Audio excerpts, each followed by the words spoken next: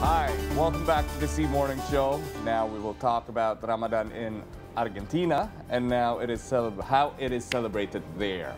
We are connected with the Indonesian ambassador to Argentina, Her Excellency Ibu Niniek Kun Naryatie.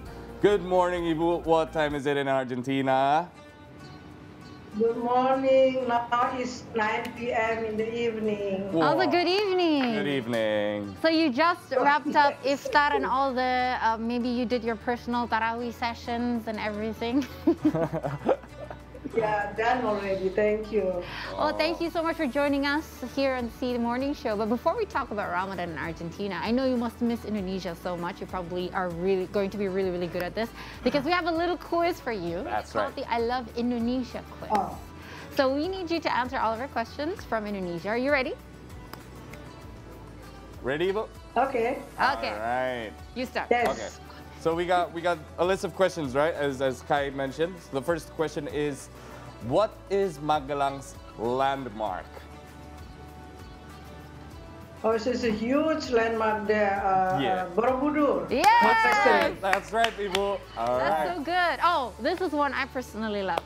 Who was the most iconic female Muslim hero hailing from Aceh in Indonesia?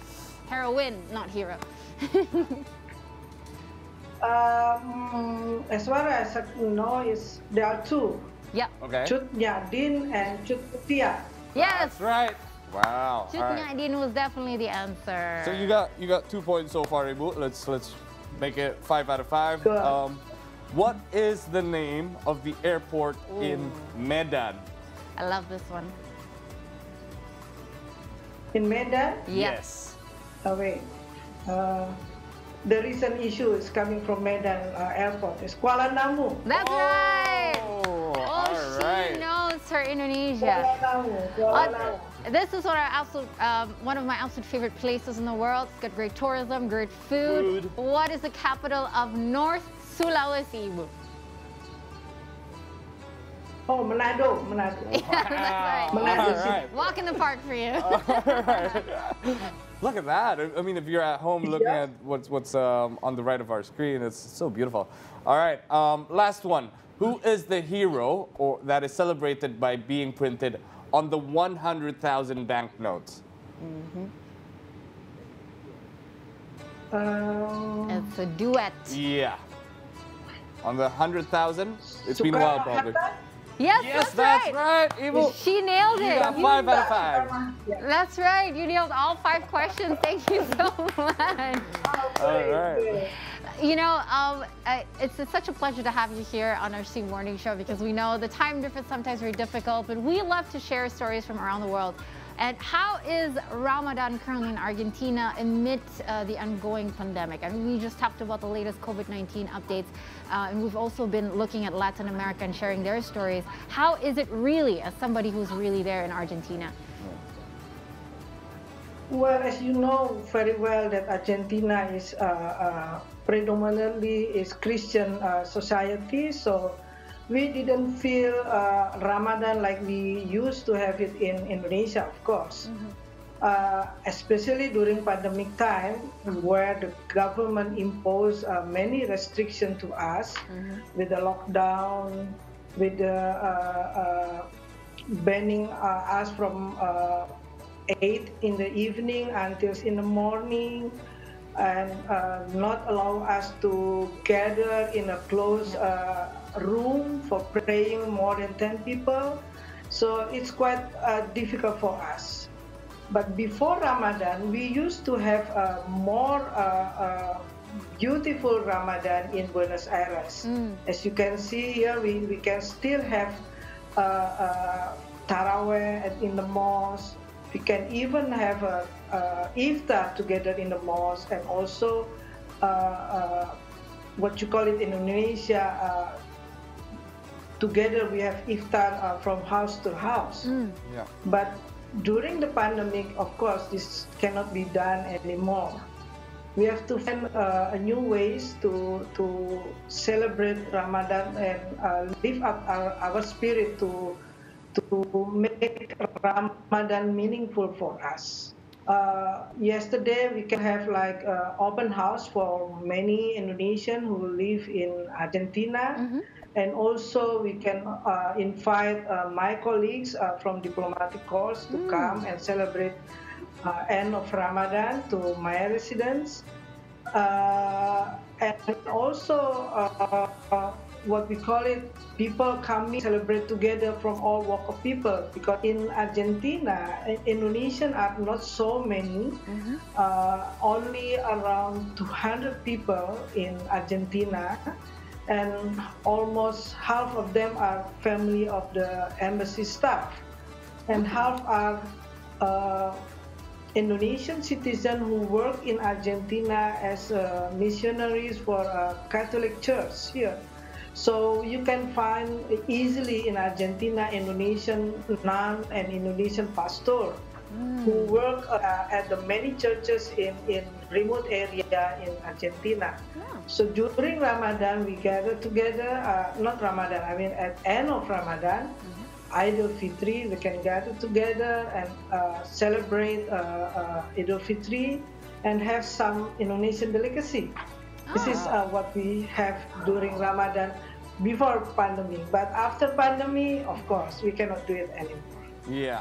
So, Ibu, um, as you mentioned earlier, what we saw just now, you know, you said um, there are strict restrictions on, you know, people gathering probably for uh, prayers and, and gather around for to break their fast. But uh, is there a limit to gathering crowds in probably in the mosque or, or for the Muslim community when they open up their fast?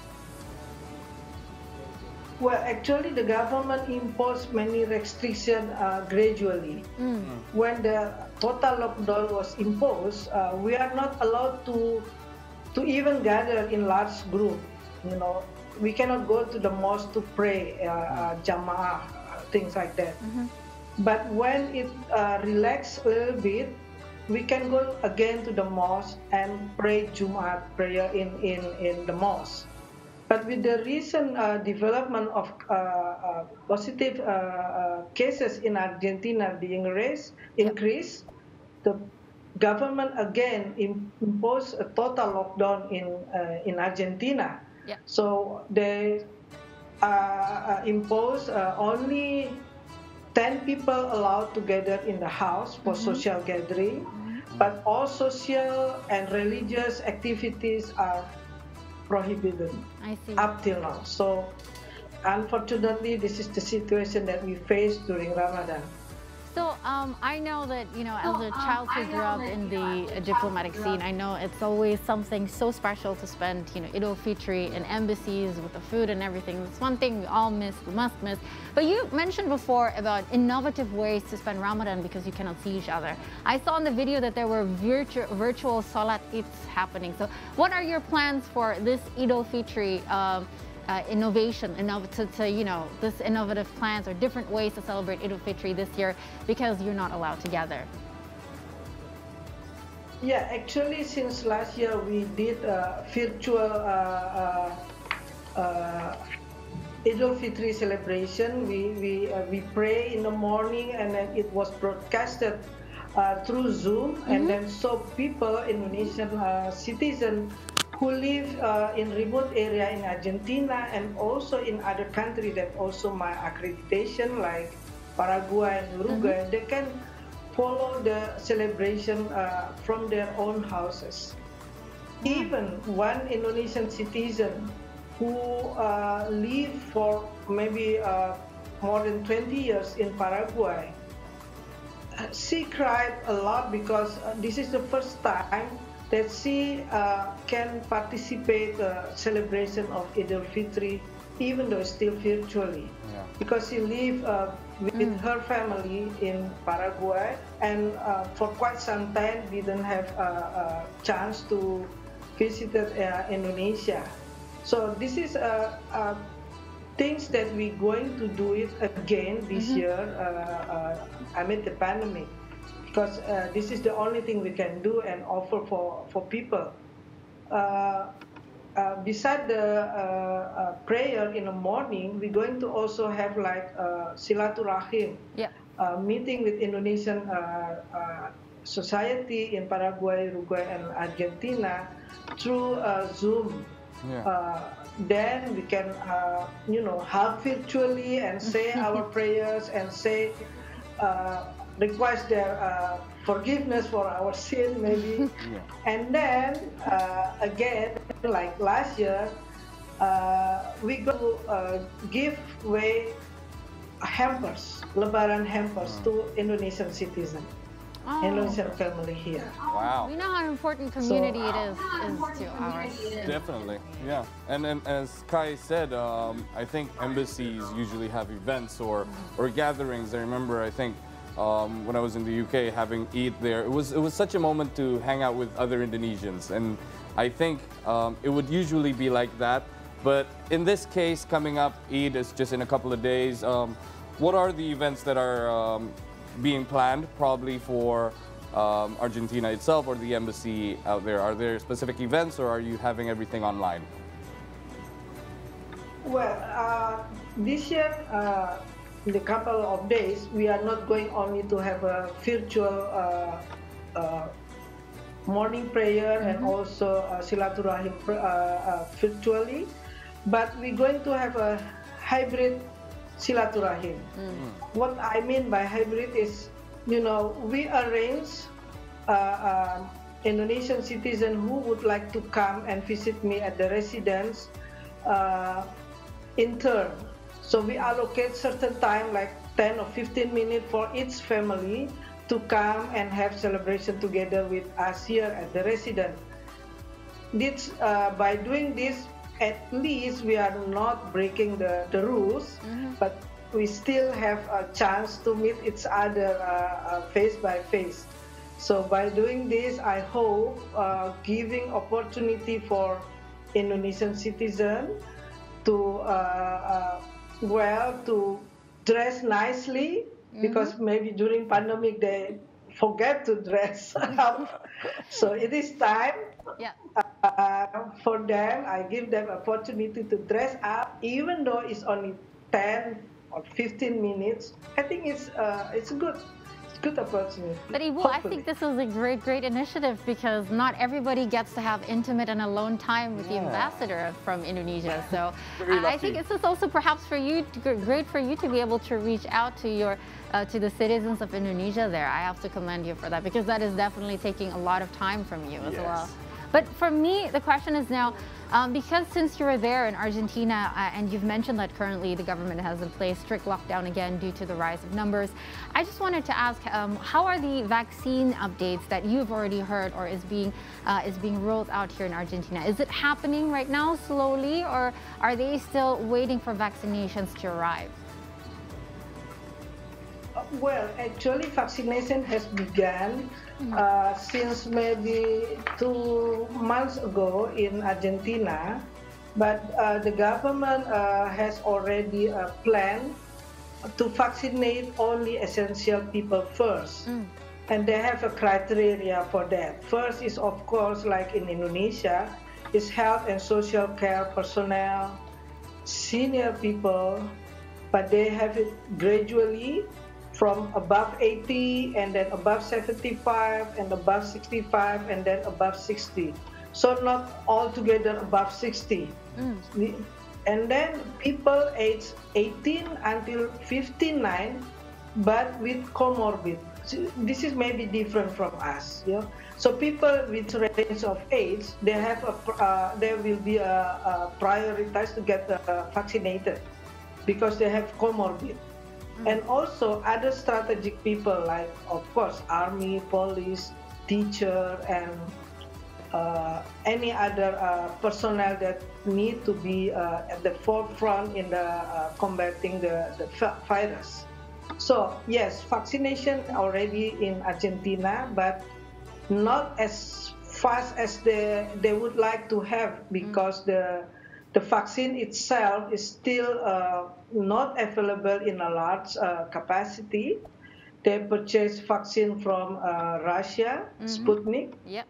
They also purchased vaccine from China, Sinopharm, and they are trying to have a cooperation in uh, uh, developing vaccine in Argentina uh, through cooperation with a Chinese uh, uh, company and also seeking possibility to have cooperation with uh, Cuba mm. to develop the vaccine.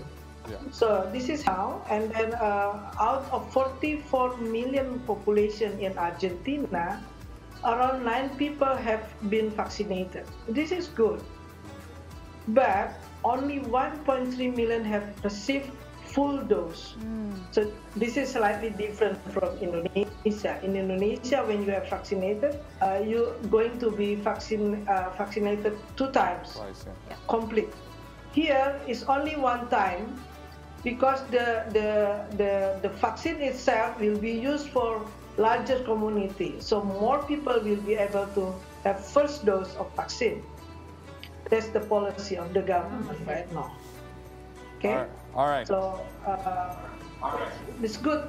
Yeah, yeah, that's good news, Ibu. Um, but I assume with you going out and about giving hampers to people, you've been vaccinated because you have to go out and and um, run around and, and deal with lots of people, right?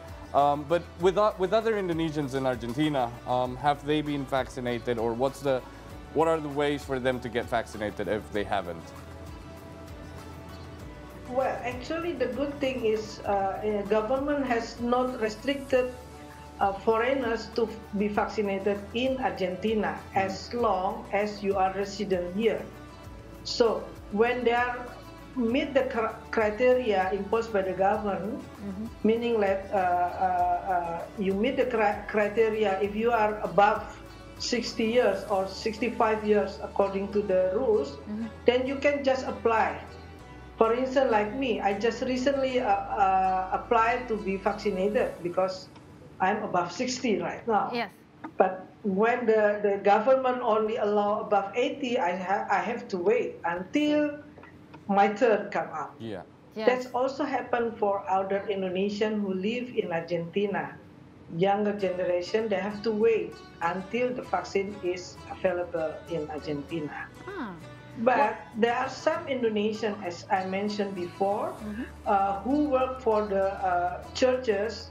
They are at the front, uh, front front uh, to combating this uh, virus. So they are already being mm. vaccinated. So those are so the, this is a good news also. The priority groups and healthcare workers. Okay, I just have one more question for you, just out of curiosity, because you know that Indonesia has been one of the countries that has, uh, you know, that has quite a success story in you know acquiring lots and lots of vaccinations early. And you being a representative there in Argentina, has there ever been a dialogue between you know government to government? Perhaps they're asking for tips how Indonesia managed the infrastructure of it and anything, or perhaps you just you know telling them, oh, this is possible. Yeah, actually, just uh, uh, like three weeks ago, I mm. met. Uh, I have a meeting with the foreign minister of Argentina, mm -hmm and uh, we discussed many things, and among other is uh, how to to to help Argentina uh, uh required uh, who required a lot of uh, medical equipment. Yeah. So we can we offer them our product to fulfill the demand from uh, health sector of Argentina, but here again, you know, we in progress we're trying to to set up a meeting between the exporter and importer of mm-hmm. health uh, medical equipment from Indonesia and Argentina. So it's uh, being in progress actually. Well, that's some great okay. news. Ibu Nini, thank you so much for being with us this morning, and I hope you stay safe and will get your vaccinations as soon as possible. Definitely. Ibu, enjoy your night. Uh, have some rest. We know it's going to be late there, so thank you for spending the time with thank us. You so thank much. you so much, Ibu. Take care. All right. Thank you for having me.